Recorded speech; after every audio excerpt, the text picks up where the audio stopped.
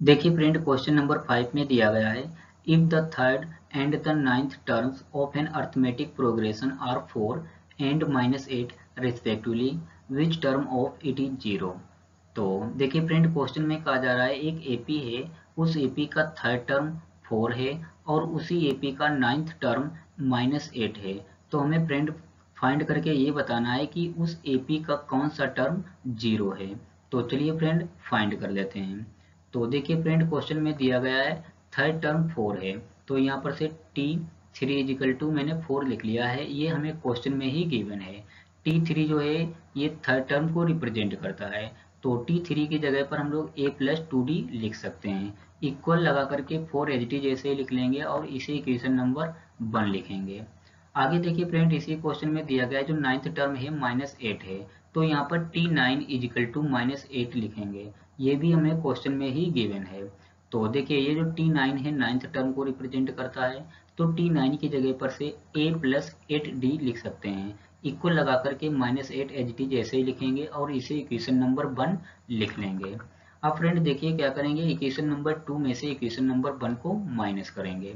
तो चलिए, यहाँ पर ये मैंने इक्वेशन नंबर टू लिख लिए। अब इसके नीचे इक्वेशन नंबर वन लिखेंगे। अब फ्रेंड देखिए, हमें इन दोनों इक्वेशन को माइनस करना है तो जो नीचे इक्वेशन लिखी है, इसके साइन चेंज हो जाएँगे। देखिए, यहाँ पर ये प्लस का ए है तो ये माइनस यहाँ पे लग जाएगा, और ये जो टू डी लिखा है प्लस साइन के साथ में तो ये माइनस यहाँ पे आ जाएगा, और ये जो प्लस फोर लिखा है तो इसके साथ ही माइनस आ जाएगा। अब ये जो साइन न्यू साइन लगाए हैं, इनके मीन के साथ में हम लोग कैलकुलेशन करेंगे। तो ऊपर देखिए फ्रेंड यहाँ पर से आप देख सकते हैं ये प्लस का ए और ये नीचे माइनस का ए ये ईच अदर कैंसिल आउट हो जाएँगे। अब फ्रेंड यहाँ पर से देख सकते हैं एट डी है और माइनस का नीचे टू डी है। एट डी एट डी में से टू डी माइनस कर देंगे तो फ्रेंड यहाँ पर सिक्स डी आ जाएगा। इक्वल लगाएँगे। अब फ्रेंड देख सकते हैं यहाँ पर से माइनस का एट है और ये माइनस का फोर है। तो इसे सिंप्लीफाई करने पर ये माइनस का ट्वेल्व आ जाएगा। अब फ्रेंड देखिए, ये जो माइनस का ट्वेल्व है, इसे सिक्स से डिवाइड कर देंगे। तो फ्रेंड यहाँ पर ये माइनस टू आ जाएगा। तो ये फ्रेंड हमें डी की वैल्यू मिली है माइनस टू तो ये फ्रेंड डी की वैल्यू मिल चुकी माइनस टू अब फ्रेंड देखिए, अब हम लोग ए की वैल्यू पता करेंगे। तो ए की वैल्यू पता करने के लिए क्या करेंगे? देखिए जो डी की वैल्यू है डी की वैल्यू को हम लोग इक्वेशन नंबर वन में चाहे पुट करें, आप चाहे टू में पुट करें, आपको ए की वैल्यू सेम मिलेगी। तो मैंने यहाँ पर से हम क्या करेंगे? एक जो डी है डी की वैल्यू इक्वेशन नंबर वन में पुट कर देते हैं। तो यहाँ पर ये मैंने लिख दिया है put the value of D in equation number one तो देखिए क्वेश्चन नंबर वन ये है तो इसे मैंने यहाँ पर लिख लिया है। यहाँ पर डी की जगह पर माइनस का टू पुट करेंगे, ये वाली वैल्यू तो ये फ्रेंड मैंने डी की जगह पर माइनस टू पुट कर लिया है। थोड़ा इसे सिंप्लीफाई कर लेंगे यहाँ पर देखिए। तो यहाँ पर से देखिए ए तो एच आ जाएगा। ये जो टू है प्लस का और जो माइनस के टू से मल्टीप्लाई करेगा तो माइनस का फोर आ जाएगा। इक्वल में जो फोर लिखा है उसे एच जैसे लिख लेंगे। अब फ्रेंड देखिए, यहाँ पर से ये मैंने ए इजिकल टू फोर लिख लिया है और ये जो माइनस का यहाँ पर से फोर है, इसे उठाएँगे लेफ़्ट साइड में राइट साइड में ले आएँगे तो ये प्लस का फोर हो जाएगा। तो आगे नेक्स्ट स्टेप में इन दोनों को प्लस कर देंगे। तो ए की वैल्यू फ्रेंड हमें मिली है यहाँ से एट तो ये फ्रेंड हमने ए की वैल्यू एट पता की है और डी की वैल्यू माइनस का टू पता की है।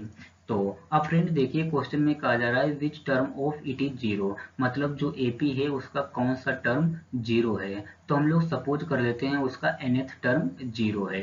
तो पहले यहाँ पर से एनएथ टर्म के लिए देखिए फार्मूला होता है एनएथ टर्म को टी एन से लिखते हैं। इक्वल में देखिए, ये होता है A plus N minus one bracket के अंदर और इंटू में डी होता है। तो हमने सपोज़ कर लिया है, जो इसका एनएथ टर्म है टी एन ये ज़ीरो है। तो यहाँ पे ज़ीरो लिखेंगे। अब फ्रेंड देखिए, यहाँ पर ए और डी की वैल्यू पुट करेंगे। ए की वैल्यू एट और डी की वैल्यू माइनस टू पुट करेंगे। तो चलिए पुट कर लेते हैं। तो ये फ्रेंड मैंने ए की जगह पर एट और डी की जगह पर माइनस टू पुट कर दिया है। अब थोड़ी फ्रेंड यहाँ पर से कैलकुलेशन करेंगे। देखिए, ये जो एट लिखा है, इसे राइट हैंड साइड से उठा करके लेफ़्ट हैंड साइड में ले आएँगे तो ये माइनस का एट हो जाएगा। इक्वल लगाएँगे और इस वाले टर्म को एच ऐसे ही लिख लेंगे। अब फ्रेंड आप देख सकते हैं यहाँ पर से ये माइनस का टू है और ये माइनस का एट है।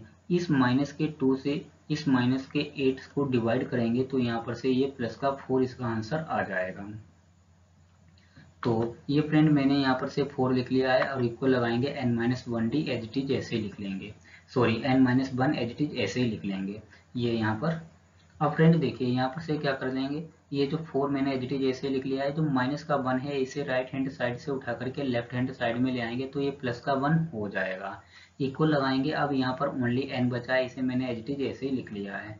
अब फ्रेंड देखिए, यहाँ पर से क्या कर देंगे इनको दोनों को प्लस कर देंगे तब ये फाइव आ जाएगा four plus one five equal में एन लिख लेंगे।